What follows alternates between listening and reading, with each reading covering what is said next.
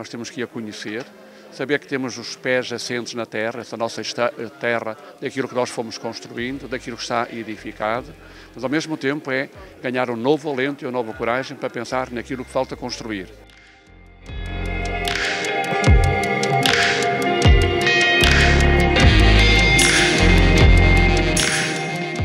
No passado dia 27 de fevereiro, a Arquidiocese de Braga e a Irmandade São Bento da Porta Aberta realizaram uma homenagem ao cônego Fernando Monteiro no Espaço Vita, em Braga. A homenagem ao cônego Fernando Monteiro, antigo presidente da Irmandade São Bento da Porta Aberta, iniciou-se com a atuação do Grupo Coral de São Bento da Porta Aberta e depois houve lugar a um debate em que os oradores convidados, Dr. Carlos Aguiar, professor Dr. Cônego Paulo Abreu e o arcebispo primaz de Braga, Dom Jorge Ortiga, moderado pelo Padre Tiago, debateram a vida e obra desta personalidade. A Vieira de Minho TV esteve presente e registou o momento. Como é que foi ser amigo? É estar e ter estado sempre em plena e total aprendizagem. Este homem foi um mestre, não o teórico, mas o prático. E com ele, eh, durante mais de 40 anos, eu tive o privilégio de trabalhar e sempre de aprender e de estar atento à realidade que me cerca, nomeadamente aos mais pobres, que era a, a sua preocupação máxima. Eh, era um homem muito ativo, era um homem que não parava. Era um homem que não parava e punha os outros a não parar. Portanto, era, de facto, tinha este feitio contagiante de ser ele a dar o, o, exemplo, ir à frente com entusiasmo e entusiasmar-nos. Portanto, com ele ninguém ficava para trás, arrastava, tinha esse condão de, de convencer e convictamente, pela sua vida, pelo seu exemplo, a fazermos, a tentar imitá-lo. Este livro é uma pequena amostra da obra dele. Pequeníssima, pequeníssima eh, de facto a obra dele ultrapassa muito de longe os, os, os parâmetros definidos pelas páginas do livro. Ele tem uma vida uh, que dizia alguém que dava uma tese de doutoramento uh, de um humanista, e é verdade. A vida foi muito, muito cheia, sempre cheia, nunca com espaços vazios. Como é celebrar a vida do cônego Fernando Monteiro? É continuar, digamos, o seu projeto, particularmente quando foi um projeto interpretado em comunhão, numa procura sempre daquilo que, que era melhor, não apenas para ele, mas para a sociedade e para a Igreja. E é por isso que a comemoração continua a ser este dever, esta obrigação de continuarmos a obra iniciada por ele, eh, fazendo com que para nós seja entusiasmo, seja uma nova motivação, seja sobretudo alegria de podermos eh, continuar a construir a Igreja em primeiro lugar e pela Igreja também um mundo diferente. Não?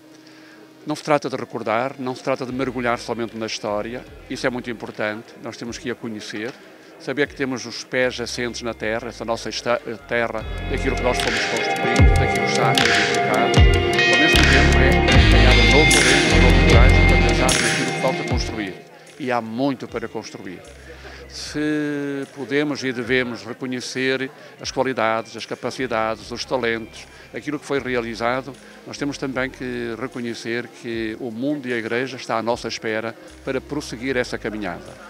Na verdade, hoje, mais do que nunca, nós necessitamos de, de pessoas com o entusiasmo com a dedicação do Cono Fernando, para que efetivamente a própria Igreja, em primeiro lugar, e depois, por seu intermédio, também a sociedade, sejam qualquer coisa diferente. Portanto, para mim, não é apenas uma evocação do passado, não é apenas o recordar tanta coisa por o que eu poderia fazer, porventura até o deveria fazer, mas é sobretudo encontrar aquilo que a razão de ser, aquilo que motivou, aquilo que impeliu, aquilo que foi a força e a coragem para levar para a frente essas iniciativas. E aí encontramos ele junto de Deus, nós ainda aqui, prosseguindo a nossa caminhada e lutando então por uma igreja mais ao serviço do homem. Seria essa bússola que o senhor falou? Será esta bússola que precisamos na nossa vida? Sem dúvida nenhuma. Eu falei de um ideal, que pode ser a bússola, pode ser eh, a estrela polar, à volta da qual gera tudo. Né? E quando hoje, digamos, são os, os próprios, eh, sei lá, a sociedade moderna, a reconhecer que parece que anda tudo perdido, porque andamos todos desorientados, se nós, dentro de cada um de nós, reconhecermos que fomos criados por um Deus que é Pai, mas com Deus que nos convida a trabalhar pela fraternidade universal, a procurar efetivamente gastar as nossas energias generosamente, gratuitamente. E é tão importante, são tão importantes estas palavrinhas da gratuidade, da generosidade, do espírito de sacrifício. Quando nós sabemos que isso nos é confiado e que está nas nossas mãos, pois é isso que ao fim e ao cabo nos interessa. Mas para isso é preciso ter um ideal, é preciso ter uma paixão, é preciso colocar muito entusiasmo para que isso possa acontecer. Não basta, por isso, simplesmente aproveitar as situações assim, do modo passageiro. Temos que ver mais longe e, e reconhecer que esta aurora do mundo novo também passa por cada um de nós. Nós temos que o fazer, nós temos que o construir. Como é uh, suceder este homem nesta obra que é a Irmandade de São Bento? Boa noite. Sem dúvida que a palavra principal é a responsabilidade. Naquilo que é o assumir uma missão de um trabalho com tão empenho e entrega com os frutos que são conhecidos.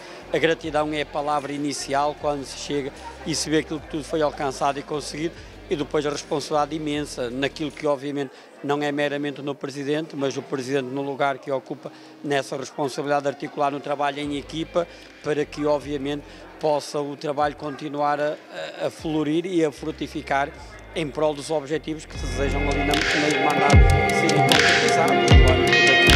Dimensão mais espiritual, daquilo que depois a dimensão eh, do trabalho a nível de, do hotel, do negócio, também da atividade comercial que ali acontece, para que possa uh, ocorrer em bons frutos para todos e possam continuar a crescer na devoção a São Bento da Porta Aberta e possam ser melhores condições ali construir para todos aqueles que ali possam chegar e possam ali ocorrer.